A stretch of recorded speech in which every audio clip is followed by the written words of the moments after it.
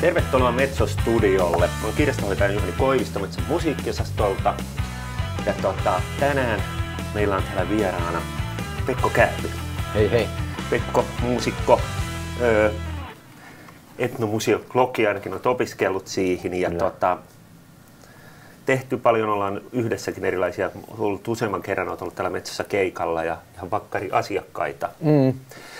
Tota, just vähän aikaa sitten tämä syyskuun puolessa välissä suunnilleen ilmestyi tämä uusin sun levy. Pekko Käppi, että KHHL Aamun koi. Saanut siis ihan loistavat A, Helsingin Sanomat, Soundi, kaikissa neljästä viiteen tähteen. Tota, mä oon tikkannut sun musiikista kyllä ja tota, tässä on muutakin matskua ja niin mun mielestä tää on ihan sun ehkä paras, parhaita levyjä. Oi, kiitos. Tota, kerro jotain tästä levystä, Aamun koi. No, mistäköhän alkaisi? No, nämä on aina ollut siis nämä kukin levy niin aika lailla semmoinen niin kahden vuoden prosessi okay. aina sit siitä niin kuin nollapisteestä sit siihen tähän pisteeseen tai tähän pisteeseen, että nyt siitä sit jutellaan. Mm. Mutta tota, se lähti aika nopeasti liikenteeseen tämän väärälaululevyn mm. jälkeen. Ja sitten tota, siinä niin ehkä dramaattisin muutos oli nyt, että nyt tuli niin kuin ihan uusi ulkopuolinen tekijä tähän niin kuin mukaan, eli Jaakonahan Jussia pyydettiin tuottamaan. Joo. Ja sitten Jussi sitten tuotti, mutta äänitti ja miksas myös tämän mm. levyn, että se Jussin kädenjälki on tässä on tosi huomattava. Ja Jussihan on tehnyt vaikka mitä. No on, se on, on jäätävä on, lista, on, siis on. ja Vesalasta Kyllä. Jonna Tervonmaahan, niin Kyllä, kaikenlaista. joo ja 90-luvulta jo, niin, se niin. on vielä niin kuin pitkällä niin kuin aikaspektrillä tehnyt. Ja niin kuin vielä, vielä on erittäin niin kuin hyvässä iskussa. Tai saako niin sanoa? Miksei olisi? Ei, mä en tiedä, kun ajatellaan jotain oikein old school dinosauruksia, niin osahan niistä vaan paranee. Niin, mutta ei se Jussi nyt niin vanha, Niin, mutta, mutta mä tarkoitin tämän Niin. siis silleen positiivisesti. Mutta tota, joo, ja sitten mulla on niin kuin melkein jokaisen levyn kohdalla, kun nyt kun on näitä niin kuin sooloja tai sitten KHHLn kanssa tehty, niin tulee aina mieleen, että olisi tosi siistiä tehdä tupla vinyyli, Joo. koska se on jotenkin sellainen lapsuuden formaatti, että oli just näitä Zeppelinin Gatefold-levyjä tai tupla Joo. vinskoja ja sitten tota Kissin alivet, niin niitä Joo, on tullut kyllä. kuolattua. Et sit se on joku semmonen niin kuin, niin kuin, ei nyt perusformaatti, mutta se on aina niin kuin, niin kuin se on jotenkin semmoinen, että mihin mä oon tähdännyt. Mutta nyt, se sit, nyt niitä biisejä alkoi tulee kauheasti ja, tota, ja niitä lähetettiin sitten ihan niin kuin tosi raffeina demoina Jussille ja sitten se sieltä kommentoi ja valkkas. Ja, et niitä oli varmaan niin kuin yli 40, mä en Okei. nyt ihan muista niitä niin kuin erilaisia versioita niin kuin pitemmälle vietyjä tai sitten tosi muistiinpanoja. Ja sitten niistä nyt valikoitu sit 16. Ja, tota, ja sitten ne mahtuu just kahdelle niin kuin levylle, että ne on puolen tunnin levyjä mole, molemmat. Ja se, just se mm, mun mielestä vinylimuoto, mä jotenkin aina ajattelen nämä levyt niin kuin A- ja B-puolena, mutta nyt sit tuli sitten C- ja D-kin puolena. Okei, sitten, kyllä. Et se, oli tota, se olikin yllättävän haastava sit se, mutta et kyllä mun mielestä se löytyi just niin kuin hyvin nopeasti kuitenkin se muoto. Ja tota, mitäs, mitäs? Mitä sitten se musiikki, kun ajatellaan? Mennään kohta oikeastaan Joo. tämän homman pihvi on tämä Niin. vinyyli ja tällaiset kirjat ja esineet ja avataan se kohta, Mm. miksi näin. Mutta tämä musiikki, niin jos mä heitän tämmöisen, niin mun mielestä se on jotenkin tavallaan iisimpää kuin mitä sulla ikinä on ollut. Vaikka se on niin kuin oikeastaan aika mammuttimainen teos, mutta Mm.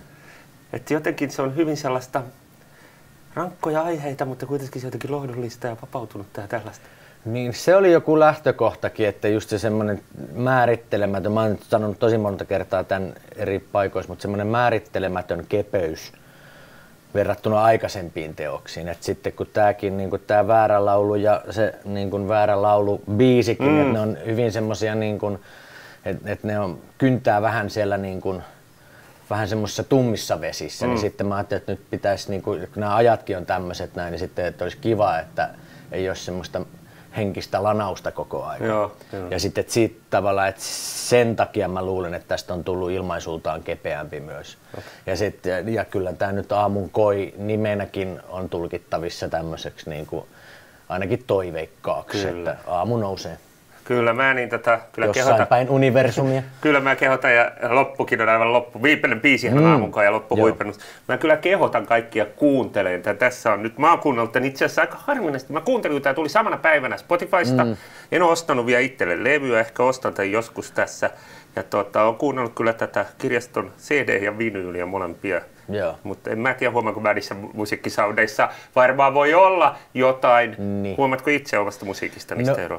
Mistä Kyllä, lähteistä niin kuuntelet? joo, kyllä, kyllä sen kuulee, mutta niitä tulee kuunneltua niin hirveästi. Mm. Ja sitten tavallaan, että ne, ne kaikki ne nyanssit ja pienet semmoiset sävyt ja mitä nyt. Mä en ole kauhean kultakorvainen kuuntelija yleensä, mutta kyllä mä huomaan sen eron. Mm. Joo. Ja sitten just se on aika jännä, että mä en tiedä onko mulla Spotifyssa niin kuin jotkut huonot asetukset, Joo. mutta se on aina semmoinen vähän sen, Niin. mutta mä oon siis tottunut kuuntelemaan kauheasti arkistoäänitteitä, Kyllä. jotka on kauhean huonolaatuisia, niin sitten yle, tai usein, niin, niin, niin että sit mulla on semmoinen niin aivot, jotka sulkee ne kaikki Joo, niin ja sähän on missä, asiat pois. missä ihminen kuuntelee. Mä itse asiassa autossa kuuntelin CDtä mm. ja mistä sä Spotify, onko sulla kuulokkeilla vai millä. Mm. Mutta tota, oikeastaan siksi, miksi mä pyysin sut tänne, niin on tota, joskus yli puoli vuotta sitten, mm. niin olit alkuvuodesta 2021 sanoisin, tai joskus silloin, niin alkukeväästä 2021, sä olit tuo meidän musiikkiostolla, mä olin töissä ja sä olit monta monta tuntia. Mm. Ja näitä kirjoja siinä, ja sä hait niin kuin, mä kaivelin sulle näitä, ja sä hait niin kuin referenssiä näihin kansiin. Kyllä. Niin tota, eli onko sulle on, on nämä albumi tällaiset kokonaisuudet, sä puhuit jo tästä musiikista, mutta sulle liittyy myös nämä kannet ja tämän tyyliset jutut siihen oleellisesti. Kyllä se on siis se koko paketti ja varmaan tosi monet jakaa sen niin kuin tämän saman. Ja sitten vielä kun että mä oon tämmöinen vanha möhis, että mä ajattelen sen kannen niin kuin tämmöisenä, Joo. tämän kokoisena. Koska sitten siellä Spotifyssa tai puhelimessa se on se niin kuin peukalon Kyllä. päällä tai postimerkin Tässä kokoinen. on jo pieni ero myös näillä On, kahdella. on, on, on. Mutta tämäkin on kiva, kun sit sitä niin kun, että kun ainakin ennen vanhaan, kun panostettiin CDCkin, niin saattoi olla niin kun, täällä tämmöinen ektoplasmakädet, jotka soittaa tota joulua. Ville Pirisen kannet, se on. Matildan levy. Kyllä. Ja tota, sit sulla on se kansissa vielä kaikki, kaikissa melkein levyissä on englanniskin vielä tekstit. No joo, no se, se joo, kyllä siis, mm, kun mä oon tavallaan aika alusta saakka, niin että se, mä oon tehnyt niin kuin ulkomailla keikkoja. Ja sitten kun sitten, ja että on kuuntelijoita siellä, niin sitten kun ensi alkuun en laittanut niitä niin kuin vaikka laulun tekstejä, niin sitten joku niitä kysyy kuitenkin aina, mm. niin sitten se ei tavallaan, ei siitä tule niin paljon sitä niin kuin, ö, tekstimassaa näihin kansiin, että, että, että sillä olisi mitään kustannuksellista Kyllä. Niin kuin, syytä olla jättämättä. Mutta mä oon huomannut, että joku on niinku ajatellut, että se on niinku lesoilua, että, että tässä niinku, niinku on, on vähän niinku tämmöistä Hollywood-meininkiä, kun nyt on tota, noin englanniksi nämä tekstit. Kyllä mutta, mä muuten- mutta se on niin. täysin käytännön Kyllä mä koska muistan, aina joku kysyy. muistan joskus ajat sitten, niin oli hienoa, kun nosti jotain Lou Reedillä oli siis tämmöinen, että kun sille tuli jonkun tietyn maan painoksia, mä en muista oliko niistä englantipainoksia, niin siellä saattoi olla Saksa, Hollanti, Italia sanat siellä. Jep, ja jep. niitä oli ihan siisti tutkia, mitä Joo, siellä joo, tulee, niin kuin englannin lisäksi. Suomeen kyllä sitä. Otaks sä ja avaat No tämän niin. levyn ja kerrot vähän, siis mikä tää on tuplalevy? Kyllä. Siis täällä on... Ö, sitten täällä sisälläkin lukee kaikki järjestys, se on aivan ihana, kun siellä lukee. Ja, mm, avaa ja kerro, mm. miten, miten tässä on niin kuin, Meillä on täällä Metsostudiossa Veikko Korhonen kuvaajana ja se päätti ottaa tällaisen, mä en tiedä, onko tämä anarkistinen. Tämä on vähän niin kuin tehdä kun haast- video vai podcastia, kun toi Veikko kuvaa tuon kaverin kanssa ja heiluu, mutta mm. eikä sitä hyvää jälkeen tule. Mä luotan täysin. Niin. Tota, no joo, siis silloin kun mä, mä ajattelin, niin kuin yksi lähtökohta oli tähän kanteen se, että se ei ole piirros nyt tällä kertaa, koska me Sanopas vielä, kuinka sen kannen on niin toteuttanut. No kannet ja kuvat on ö, tehnyt ja ottanut siis Tero Ahonen. Joo. Nerokas, nerokas Kyllä. ihminen on hän. Ja tota, mä oon tykännyt Teron kuvista ja siitä on vaikka se, mikä on niinku isona julisteena semmoinen J. Karjalainen, semmoinen sinisellä taustalla silmät kiinni, mm.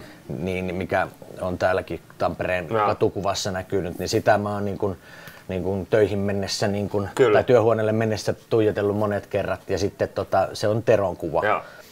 Mutta se on, se on kuvannut vaikka ketä, mutta et sillä oli niinku semmoinen, että jotenkin se tuli heti mieleen, että nyt oikea ihminen olisi siihen. Ja keskusteltiin aika paljon ja sitten mä just tosiaan selailin todella huolella niin näitä kirjoja ja tota, tota, tota, levyjä plarasin, että miten jengi on ratkaissut. Ja tota, en mä tiedä paljon sitten lopulta niin kuin vaikutti muuta kuin, että kyllä se niin kuin, koska niin kuin nämäkin on, nämä on niin erilaisia, kun nytkin just katoin, niin kuin, no, het, niin kuin, että Syd Barretti ja Led Zeppelin, niin näissä on tämmöisiä kuva-aihelmia.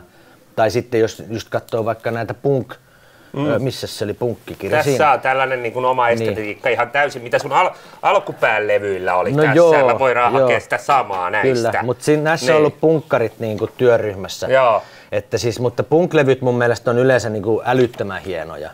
Ja tommosia niin kuin jotenkin hyvin dynaamisia ja kontrastisia ja tämmöisiä niin kuin jotenkin nasevia. Mutta sitten mä, niin kuin, mä toivoin sit siltä Terolta just semmoista, että jotain semmoista niin kuin, äh, kysymyksiä herättävää ja niin kuin, ei tarvinnut mitään niin kuin mystisempää mm. tai semmoista olla, mutta että just mulla oli mielessä Pink Floydin se Wish You Were Here-levy, missä ne kättelee Joo, se mä voin toinen... kaivaa sen täältä. Kerro vaan sä, mä Niin, kuuntelen. että siinä oli joku semmoinen, että kun se toinen on niinku liekeissä, mutta Niin. siinä kuvassa siinä oli jotain siinä niinku taivaassa, että siinä oli jotain tämmöistä niinku värisävyä. Että se oli niinku puheessa, että eihän tämä nyt näytä yhtään siltä. Mm. Mutta siinä oli joku semmoinen dynamiikka. Ja sitten Tero sitten ehdotti tämmöistä kuvaa.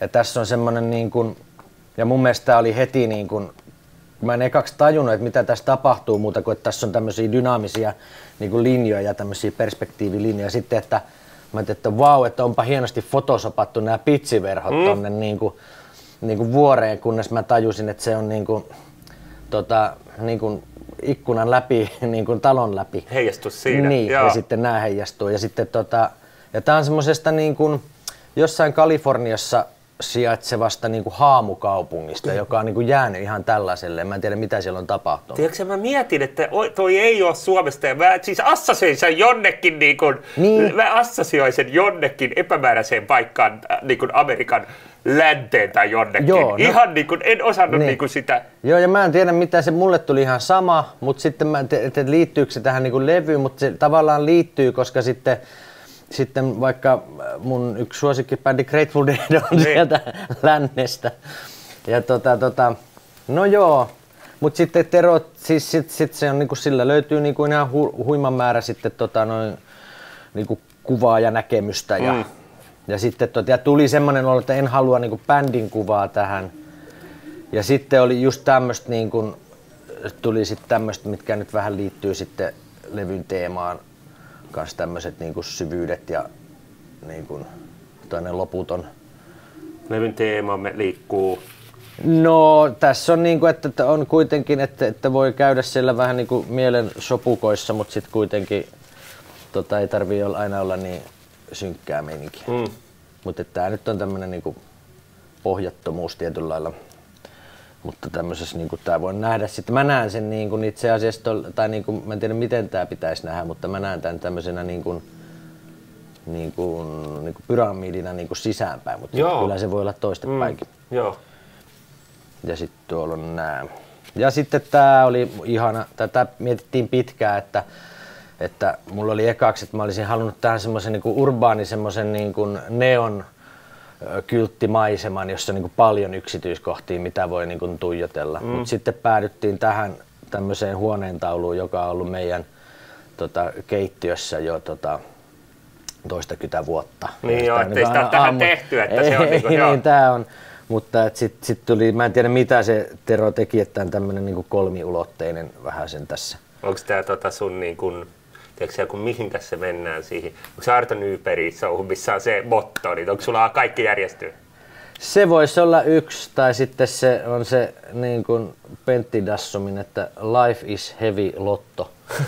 Ne Dassumi on tuottanut jotain, en miksannut tai jotain, se on jotain levyjä. Se, joo, kyllä se on ollut tekemässä, se on masteroinut, ootapas nyt, onko tän ainakin masteroinut ja tän vuonna 86. Vitsi, mä en muista, miten nämä nyt mennyt. Joo, se oli nimenomaan tän se masteroi. Joo.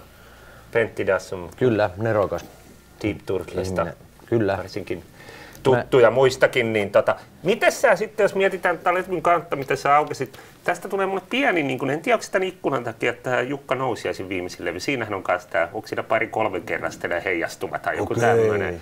No niin. Niin tää, niin tota, kannattaa tsekata se. Jos Niin sulla ikkunat olisi- on hienoja, joo. Mitä Ja se sitten- ikkuna, merkitsekö se vielä jotain muutakin tässä? Vielä, niin kun, No onhan se semmoinen, Niin. niin. niinku, että, että aina kun on ikkuna, niin sit se niin kuin tästäkin tuon, että Niin. tämä on mun mielestä tosi kiva paikka teillä tämä studio.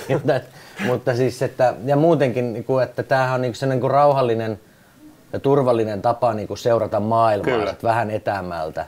Mutta sitten niin kuin lopputon määrä yksityiskohtia niin et sä tiedä, mitä ikkunan takana niin, välttämättä kyllä. voi tietää. Äsken hyppäsi meidän hyvä työkaveri tuohon ja oli ihan onnessaan. Ei päässyt tähän kuvaan, kun taisi Ne. tulla enemmän. Mutta miten sä Ne. vertaat sitten, kun sä teit nämä molemmat? Oliko tää, tällä kun lähdettiin liikkeelle ja tämä sitten väkisin sorvattiin tämmöiseksi?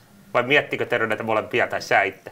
No kyllä se, niin kuin mä luulen, että se on niin kuin, ö, LP-lähtöinen on ilman Niin. muuta. Et sitten, että, niin kuin, että tietyllä lailla toki niin kuin jotain kompromissia varmaan pitää tehdä tuohon CDC, että se kutistuu niin mm. paljon, mutta mä en tavallaan sit niin kuin tiedä, enkä mä nyt enää ihan niin hirveästi enää välitä. Että mä mm.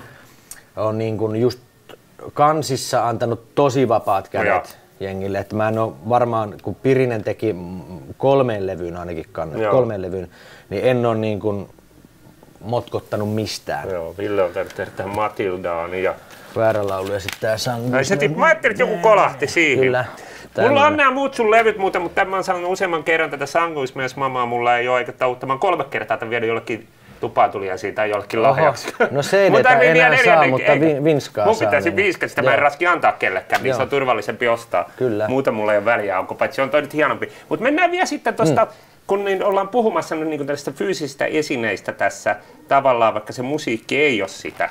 Niin. Mutta niin tota, niin meiltä kirjastosta löytyy kyllä niin kuin sunkin tuotantoa aika lailla sekä cd että vinyylinä. En tiedä löytyykö ihan kaikki, mutta aika hyvin ja paljon Mm, muitakin. joo. Mutta niin kuin tota, miten sitten kun sä ajattelet sitä musiikkia, kun sehän on käytännössä 95 prosenttista, 99 prosenttisesti varmasti mitä maailmalla, niin se kuunnellaan sitten riiminä Mm. tai niin kuin Spotify, Tidal, YouTube Niin. ja tämmöisistä, niin öö, sä kuitenkin, kun mä kuuntelen tämän, niin mä näen siellä selkeästi tai kuulen tai huomaan, että sä oot miettinyt sen, mm. jopa, ootko miettinyt vielä mille puolelle, mikäkin asettuu niin kuin muuna kuin pötkönä? Joo, joo, joo, kyllä, ehdottomasti. Mutta si- silleen mä sen koen ja toivon, että se välittyy myös, mutta mun mielestä se niin kun, vaikka vinylin kuuntelu on aina itselle vähän sellainen, niin kun, vaikka se tilanne saattaisi olla hyvinkin arkinen, mm. mutta kuitenkin, että se on aina sellainen tapahtuma, koska sitten se pitää laittaa Kyllä. sinne ja neula ja sitten A-puoli ja sitten pitää niin kääntää mm. se, että siinä on aina semmoista niin pientä tekemistä, niin se on vähän semmoinen pyhä toimitus ti- tietyllä lailla. Et, et itekin tulee aika paljon kuitenkin sitten vaikka reissussa kuunneltua Spotifyta tai jotain mm. tämmöistä. Ja se on tosi kätevää, mutta sitten siinä on, siinä on joku siinä, että, että vaikka siellä on se suosikkibändin, vaikka Grateful Deadillä on ihan hirveästi live-levyjä, mm. että niitä on niinku kymmeniä ja kymmeniä, mm. niin siinä on jotenkin sen, niinku, että se on vähän sellainen niinku loputon suo, niin sitten tämä on niinku ymmärrettävämpi, kun se on konkreettinen, se on kädessä, sitten se on otettu levy haltuun Kyllä. ja sitten on joku mielikuva. Ja sitten toi mun mielestä Spotifyssa on sekaavaa kanssa, että sitten kun se levy on loppu, niin sit se rupeaa arpomaan niitä sitten niinku sen Kyllä, perusteella, joo. mitä olet kuunnellut tai jotain.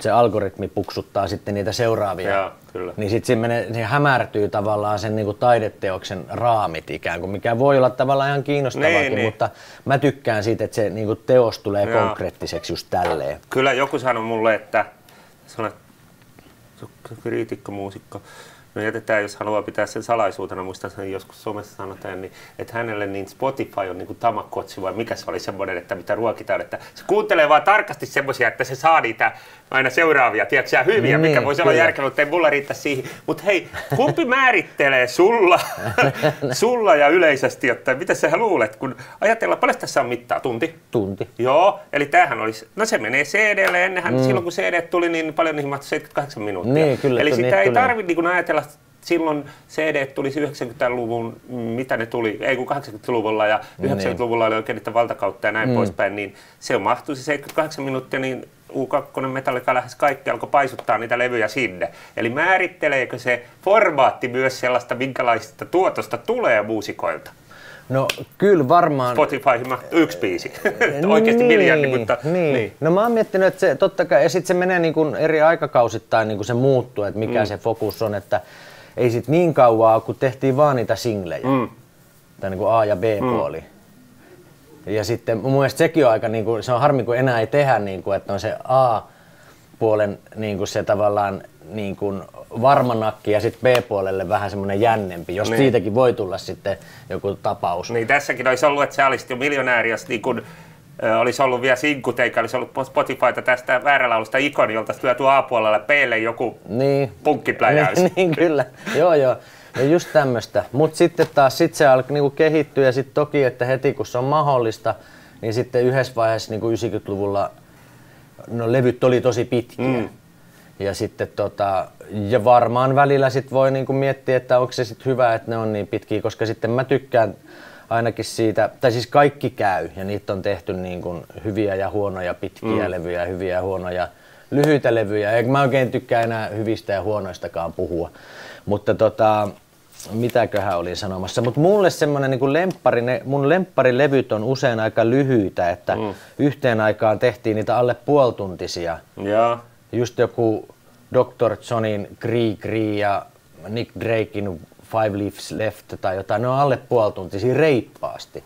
Niin sitten se puolen tunnin niin kun levy on mun mielestä aika kiva. Mm.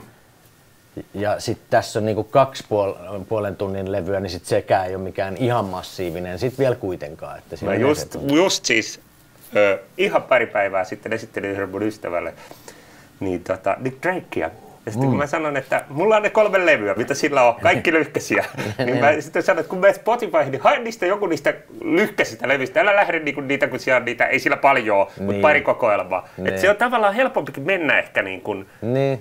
sellaisten levyjen kautta. Oi, siellä on Grateful Dead. Voidaan katsoa tästä jotain, niin kuin, mitkä sua ehkä inspiroi tai jotain. Nämä on nyt jotain random kirjolehtiä, niin. Niin kuin, muutaman levyn kannen. Nämä on nyt ihan sattumanvaraisia, auke sattumalta. No kyllä. Niin. Täällä on aika monessa kohtaa löytyy Grateful Deadin kanssa. Niillä on niinku se, että niilläkin on ollut niinku montaa tekniikkaa, mutta näitä mä niinku selailin, niinku tästä mä tykkään kanssa, mm. että tää on just tämmönen niinku, tänne jatkuma ja sitten on taas niinku paljon niinku hämmästyttävää Niin se on Dorsey Trace Days, joka jatkuu niin. ja sitten siellä on ekan levy vielä kansi todella. Niin. Tykkääkö sä sellaista, että jotain viitteitä vai?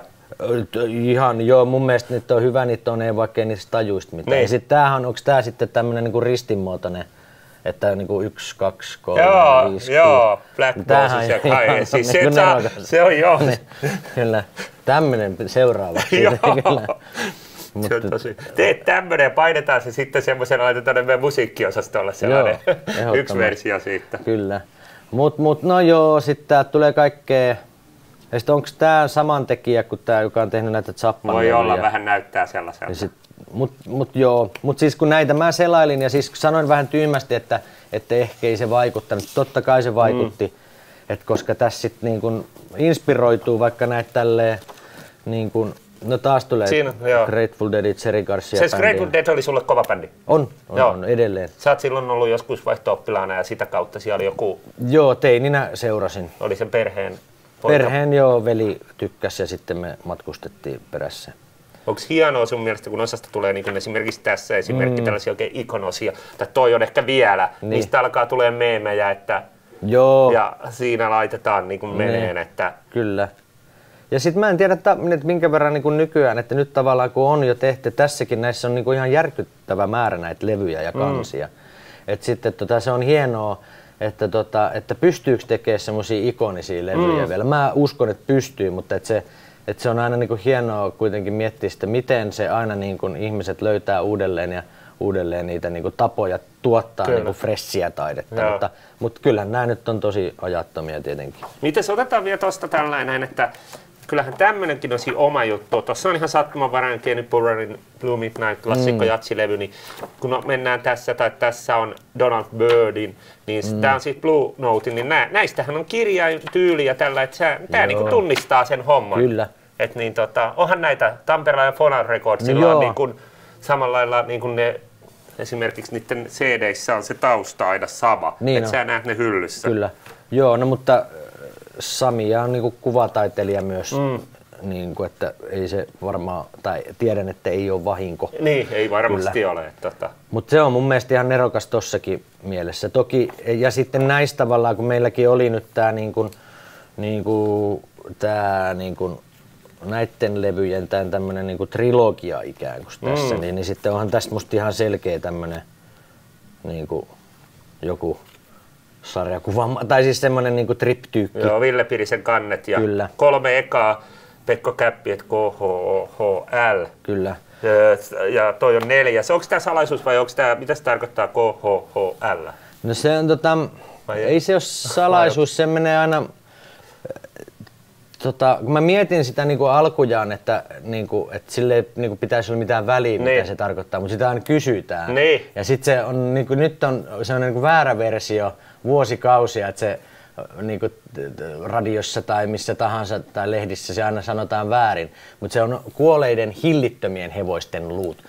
Ja siihen liittyy, että ää, tota, tolla, tolla... Hiljaiset sanotaan aika usein tai luki jossain just levyllä. On näitä tosi, ja sitten se menee niin kuin, no joo. Haudatutkin on välillä. No on kaiken näköistä, mutta siis se, sehän liittyy Mikael Agrikolan tota, sanakirjan tämmöiseen selitysosaan, missä silloin semmoinen runo, missä mainitaan tota, hillittömät hevoiset, mm. jotka on siis niin kuin villintyneitä tai hulluja hevosia. Joo. Sitten se on hullu hevonen, sitten Crazy Horse on tämä historiallinen hahmo ja sitten Neil Young ja Crazy Horse ja sitten näiden niin kuin luut, että se on tavallaan tämmöinen niin kuin kunnianosoitus moneen suuntaan, mutta tota, tai näin sen voi ajatella. Okei, okay, ihan sillä, mahtava. Ei siinä mitään järkeä sinällään Joo. ole, mutta tota... Kun mulla, mulla siis, mä olin ihan teidän, vai tiedä oliko se ensimmäinen ensimmäinen siellä keikka tässä YO-talolla tuolla kokoonpanolla. Mm. Siellä oli joku Black Motorin keikka, olisiko ollut pistepyrkköjen kanssa jopa.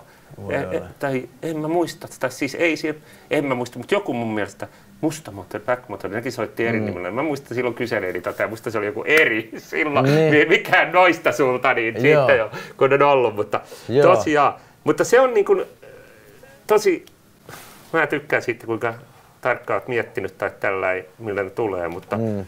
tämä levy, niin tota, kyllä mä niin tota kehottaisin joko käydä ostaa levykaupasta tai teillä on keikoilla tätä myynnissä, tai sitten lainata kirjastosta jompi kumpi. Mm. Ja tota, katso, saako erilaiset kiksit, kun kuuntelee tästä ja lukee samalla sanoja ja opettelee vaikka englantia siellä. No joo, kyllä mä suosittelen just näitä. Niin. Ja sitten pitää vielä teitä niin. Niin kun hehkuttaa ja kehasta, koska siis niin tääkin on niin loppuun myyty se on mun oma levy, mutta mä luulen, että meillä on kyllä niin, tämä. mä luulen kanssa. Mutta sitten tota, että, ja en mä, et, ei sit varmaan tuu enää mitään painosta, mm. että sitten tää on niinku hienoa, että täällä ne on, varmaan monella muulla on sama mm. niinku kohtalo ikään kuin, kyllä. että sitten, mutta täältä se vaan löytyy. Että Joo.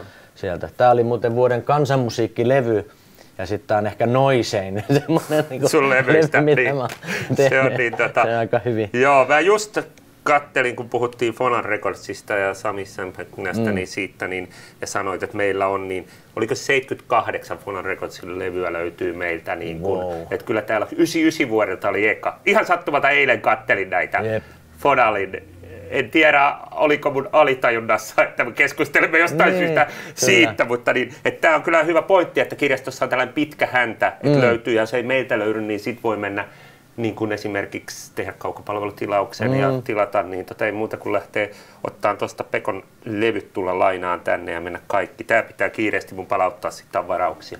Ja mahtavaa, että saa näitä vinskoja nykyään kanssa, koska se nyt niin kuin selkeästi tänne sitkee formaatti, että yhä se täällä on. Kyllä. Hei, tosi kiinnostavaa jutella myös niin kuin muustakin kuin sitä musiikista, vaikka mm. aika oleellisena se musiikki on, näyttää sulla olevan siihen, millaisia näistä levyjen kanssa sitä muodostuu. Mm. Mä käännän tästä vielä ja otetaan kuva, vaikka sä voit pitää ja jätetään tähän kaikki järjestyy. Tää, mä uskon kanssa tämmöiseen, että kaikki järjestyy, Kyllä. vaikka dystopissa hengessä ehkä tällä levylläkin mennään mm. ja maailmassa muutenkin mennään, mutta sellaista se kai on aina ollut maailma. No näin mä näkisin, mm. että aina mylleritään. Kiitoksia はい、はい。